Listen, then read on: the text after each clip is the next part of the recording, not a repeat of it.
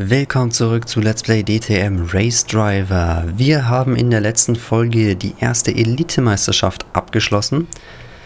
Und zwar die Elite-Meisterschaft B. 24 Punkte haben wir erreicht. Ist jetzt nicht das allerbeste Ergebnis.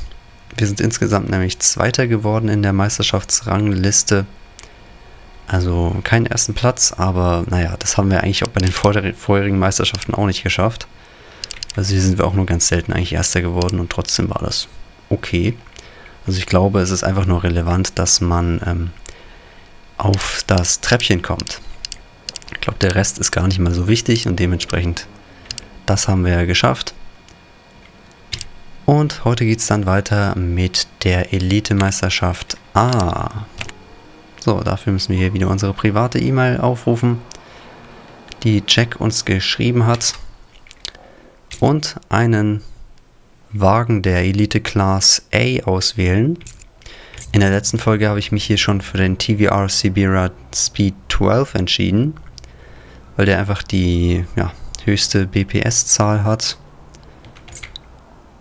und gleichzeitig auch ein bisschen leicht ist als der König C62 und ein 6 Gänge hat anscheinend statt 5, so wie ich das jetzt hier rauslesen kann.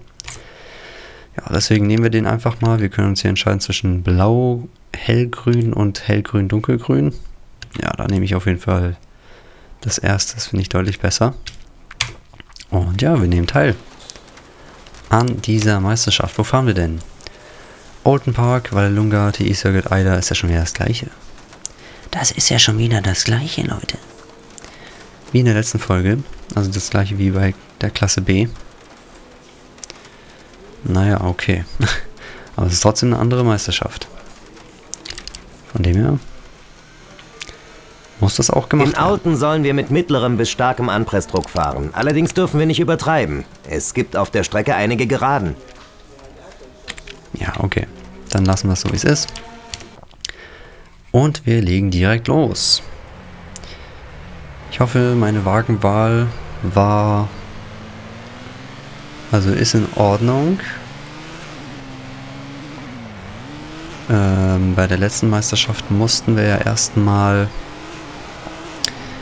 ja, erstmal herausfinden, welcher Wagen überhaupt der beste ist eigentlich. Und äh, ja, da das hat uns ein bisschen Zeit gekostet. Ich hoffe mal, dass das jetzt hier ja, da wollte ich jetzt eigentlich vorher bremsen dass wir jetzt hier gleich schon den besten Wagen ausgewählt haben.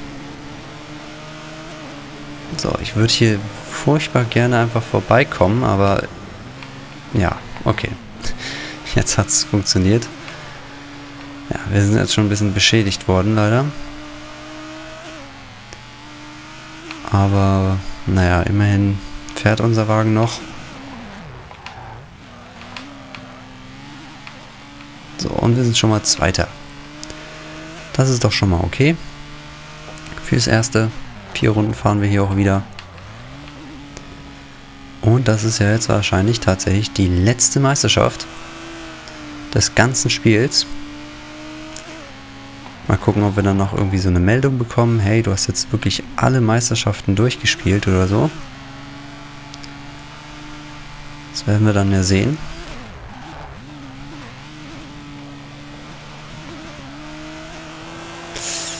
Okay. Aber erstmal müssen wir hier noch einige Rennen fahren, bevor es soweit ist. So, da haben wir uns jetzt tatsächlich auch schon den ersten Platz geholt. Jetzt fahren übrigens auch nur 10 Leute mit, statt 11 waren es ja, glaube ich, bei der letzten Meisterschaft. Also... Ja, ein bisschen kleineres Feld, aber eigentlich kaum.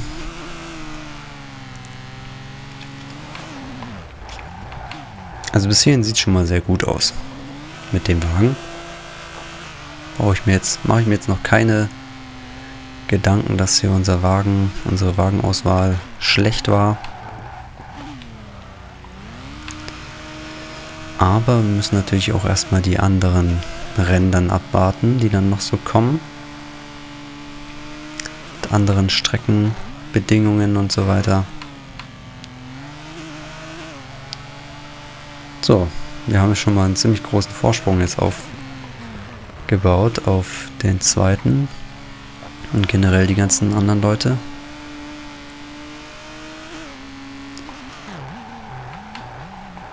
Boah. Ihr seht aber auch, oh Gott, wie lang hier der Bremsweg ist, ne, von dem Wagen. Also, ja, liegt jetzt wahrscheinlich auch an dem Regen. Ein bisschen.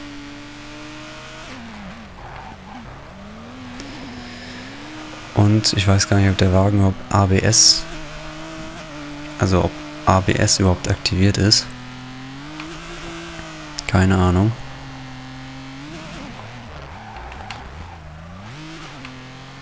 Wahrscheinlich nicht. Nee. Nee, ist es ja auch nicht. Sonst würde es ja hier nicht blockieren. Ne, das macht ja nur Sinn. Okay, die, oh Gott, letzte Runde beginnt. Eine Minute 14 haben wir gebraucht. Unsere beste Runde war eine Minute 14 1-0. konnten wir jetzt gerade eben nicht schlagen. Boah, die anderen Leute sind so weit weg. Also ich glaube, der Wagen, das ist tatsächlich der beste. Den man hier hätte wählen können. Ich glaube, da sind wir wirklich auf einem, ja, auf der guten Seite.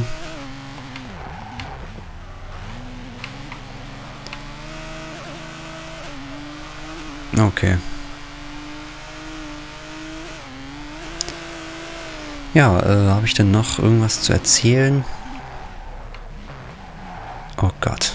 Also ich komme schon echt oft von der Strecke ab, ne? Aber trotzdem habe ich hier so einen heftigen Vorsprung aufgebaut. Also so schwer scheint es dann auch gar nicht mal zu sein, ehrlich gesagt. So, wir haben es geschafft. Schon mal 10 saftige Punkte für uns. Finde ich sehr gut. TVR Sebera Spee. Ja. Wunderbar. Vallelunga. 3,2 Kilometer, 1 Minute 6, 9,3, sehr heiß. Wageneinstellung. In den Haarnadeln und Schikanen brauchst du eine gute Bodenhaftung. Die müssen wir maximieren, um möglichst viel Druck auf die Straße zu bringen.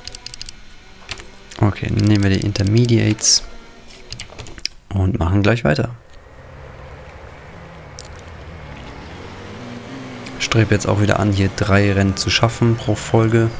Dann sollten wir in der nächsten Folge das letzte Rennen abschließen. Bevor wir dann komplett alle Meisterschaften durchgespielt haben. Also jetzt nach meinem Wissensstand zumindest. Aua. Ey, was sollte denn das jetzt? Das war aber nicht nett. Das war auch nicht nett. Na okay, da bin ich jetzt ein bisschen ziemlich schnell hier wieder auf die Strecke zurückgefahren. Das war vielleicht auch nicht so schlau. Oh, oh, oh, okay. Da war ich, glaube ich, etwas zu schnell. Ja. Okay. Also man sieht, so schnell können wir, kann unser Vorsprung hier schon wieder weg sein. Boah, jetzt habe ich nur das Gefühl, dass der Wagen jetzt nicht mehr richtig lenkt oder ist es... Äh... Ja, es ist quasi standardmäßig so bei den Wagen. Also was unsere Schäden angeht, sieht es eigentlich noch ganz gut aus sogar. Ich hier mal gucke, da hinten rechts haben wir irgendwie eine gelbe Markierung, was auch immer das heißt.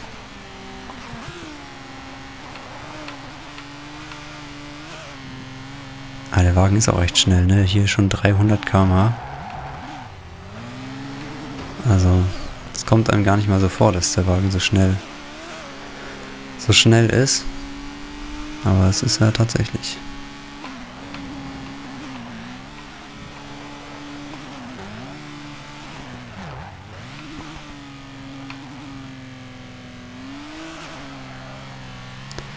So, da sind sie doch wieder, die Kollegen. Ja, super. Ich würde jetzt gerne mal wieder hier den einen oder anderen überholen von euch. Wäre das mal so eine Maßnahme, die man mal einleiten könnte? Ja, die sind ja schon echt ziemlich nah eigentlich beisammen, außer der erste. Der ist tatsächlich ganz schön weit weg. Also es ist im Prinzip wie das letzte Rennen, als ich der Erste war. Nur, dass es diesmal nicht ich bin, sondern jemand anders. Tja.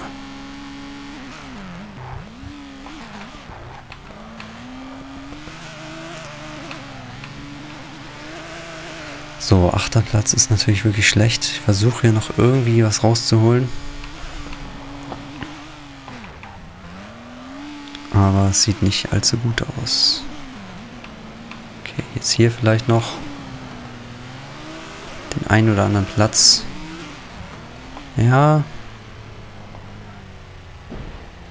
Boah, ey.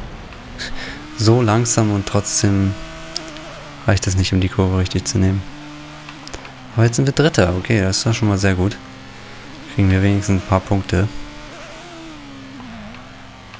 Und bleiben hoffentlich auch auf dem ersten Platz und so. Ja, das auf jeden Fall. So. Hat uns jetzt aber nicht noch überholt hier, oder?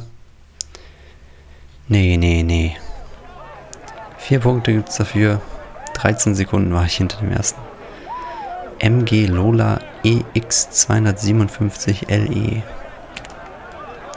Le Mans wahrscheinlich, ja. Tatsache. Le Mans. Kann ich eigentlich hier wieder zurückgehen? Oh. Hier kann man nicht. Okay, ich dachte eigentlich, wenn ich Escape drücke, dann komme ich wieder zum vorherigen Bildschirm, aber nee. Das ist nicht möglich. Okay, dann geht es gleich weiter mit dem nächsten Rennen. TE Circuit AIDA. 3,7 Kilometer, 1,2688 Sonnenuntergang. Schauen Die Strecke ist eng und kurvig. Wir brauchen jede Menge Bodenhaftung, trotz der Geraden. Okay, nehmen wir mit. Und dann geht's gleich los. So, die goldene Regel natürlich hier nur 50% Gas geben beim Start. Hier fliegen erstmal die ganzen Spoiler weg, ey. Wie die die immer schon auf den ersten Metern verlieren einfach. Das ist aber auch ziemlich, also hätte man sich das auch gleich sparen können, die überhaupt zu montieren. Wenn die Leute die so schnell verlieren.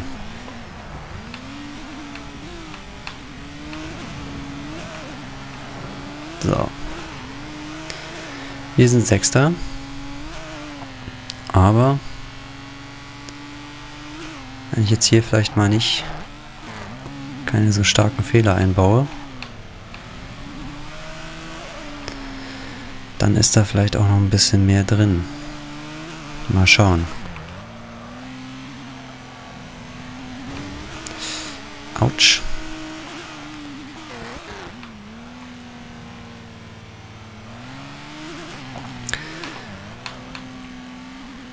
Oh, nein, nein, nein, nein, nein.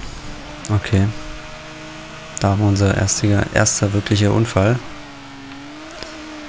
Und einen Platz haben wir verloren. Und jetzt bin ich wieder rausgekommen.